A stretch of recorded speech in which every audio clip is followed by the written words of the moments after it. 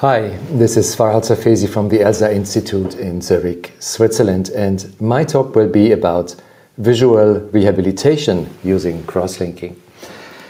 These are my financial interests. Now, have a look at this 40-year-old patient. She is with me since a few years. She has stable keratoconus. And look at the procedure that I have performed in her before the procedure and four weeks later. And this is an amazing improvement of the keratoconus on the right and on the left eye. And we call this procedure PACE. Now you might say this is a really very nice result, but this is probably a result that was achieved with the excimer laser. Well, let me show you another example here, before PACE and only seven days after PACE. And this is not an excimer laser. This is customized cross-linking. And the big difference to the laser is I have not removed a single micron of tissue. This is only cross-linking, no tissue removal. How did I do this? Well, I combined a number of sophisticated devices. The Schwind Amaris excimer laser, our CI device imagines cross-linking technology, that is under the Amaris laser and the epithelial maps from the MS39 from CSO Italia. And these three devices, they work together flawlessly. And as you can see here, I can take the CI device technology from the classic laying position under the Amaris excimer laser. And if needed, I can use the same technology at the slit lamp to perform slit lamp cross-linking. Now let's go back to PACE. PACE stands for PTK Assisted Customized Epi-on Crosslinking. So let me walk you through how PACE works. The first generation of customized crosslinking was introduced eight years ago, and it simply put more energy over the tip of the keratoconus, and more energy means more crosslinking, more flattening. Now, PACE gives an effect that is two to three times stronger than first generation customized cross-linking. PACE is second generation customized cross-linking. And what we do is, the basis is our new Epi-on. We have developed an Epi-on cross-linking that is extremely powerful. It is just as strong biomechanically as the 10 minutes Epi-off standard accelerated cross-linking. But we don't need iontophoresis, we don't need oxygen. And what we perform in the first step is an epi-on, but over the tip of the keratoconus, over the Gaussian profile of the tip, not the axial, sagittal, tangential, over the Gaussian profile, we put a small zone where we remove the epithelium, epithelial map guided as you can imagine, within this small zone, the epithelium is not the same thickness everywhere. It varies due to the keratoconus. So we need um, a PTK that has a specific offset from the center that is compensating for cyclorotation and that creates a tiny opening, a window, an epi-off window into the cornea based on epithelial maps. So we do not remove a single micrometer of stroma we stay only in the epithelium or in Bowman's membrane. So if I cross-link now in an epi-on manner the entire cornea, the epi-on cross-linking is strong, but over the epi-off area, the same uh, irradiation settings will give an even stronger result. That's the first gradient between the tip of the cone and the rest of the cornea. And the gradient means that the epi-off area will have more effect, more flattening.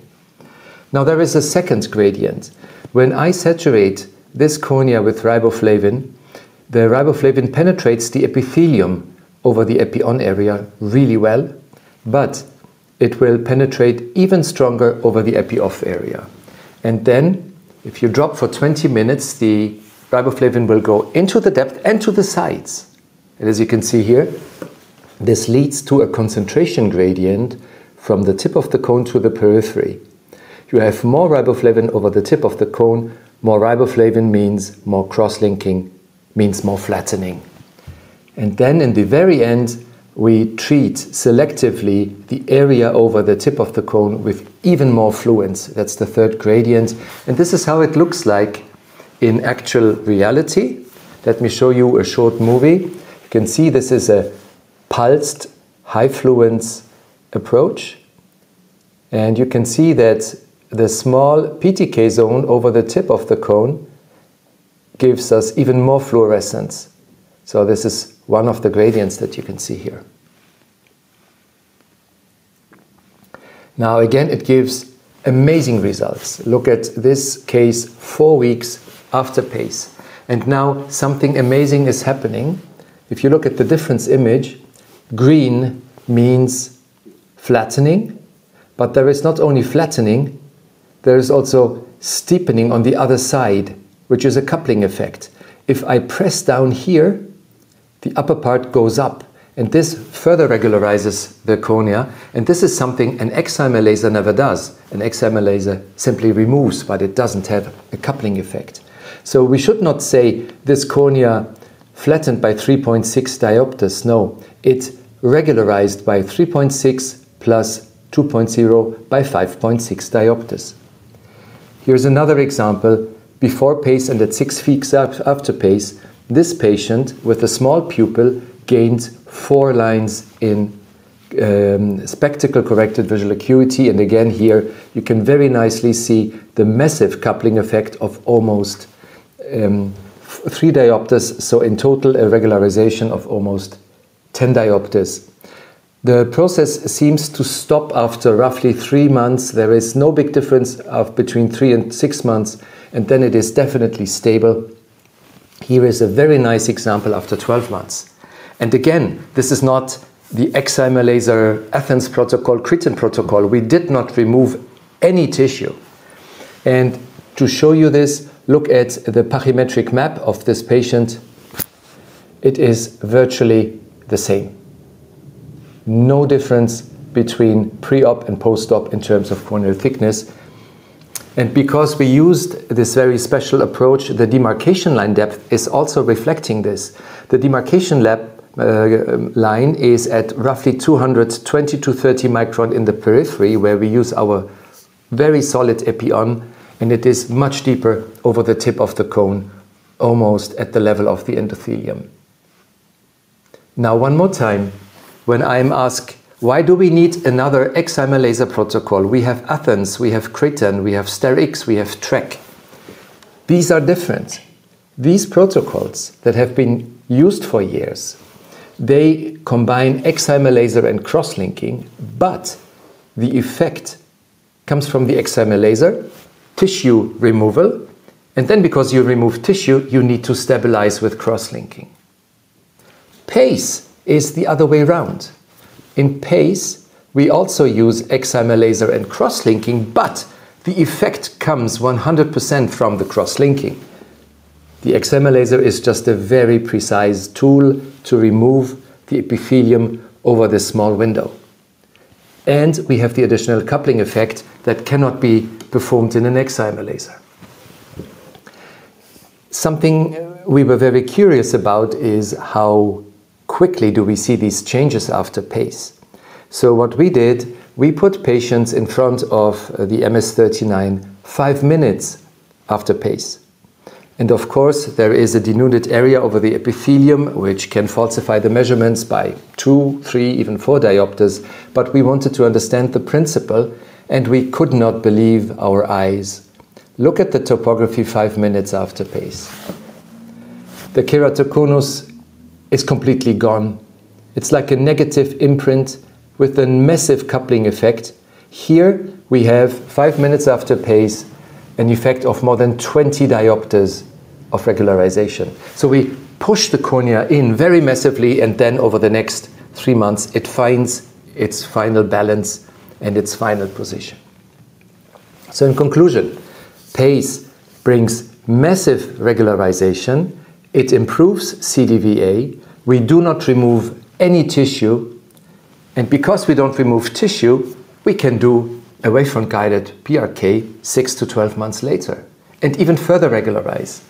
And what is really beautiful too is PACE can be used in progressive keratoconus but also in stable keratoconus. So it opens up a new a new set of patients. 36 year old patient who tells you, My keratoconus has been stable for 10 years. I have been using contact lenses. I do not tolerate the contact lenses anymore. What are my options? Now, because we push the patients into massive flattening, we push them towards hypermetropia. So, for now, we only choose patients who are myopic, minus two, minus three, so they go more towards zero. And because I cannot rule out that there is an ongoing continuous further flattening, we use patient, we only perform PACE in patients with at least 52, 3 or 4 diopters of Kmax. So they flatten over the tip of the cone by 5 or 6 diopters, and even if they continue to flatten 2 or 3 diopters more over the next years, they are still in a physiological range. We have currently treated 180 eyes, which is a one year follow up, and in late 2024, we will probably be able to publish our data. What we need here is the CI device, our penetration enhancers, the MS39 and the Amaris. And uh, this has been a very nice uh, collaboration where we had a lot of exchange in terms of uh, approach with Francesco Versaci from CSO Italia and our friend Shadi Awad from AUB Lebanon. Thank you very much for your attention.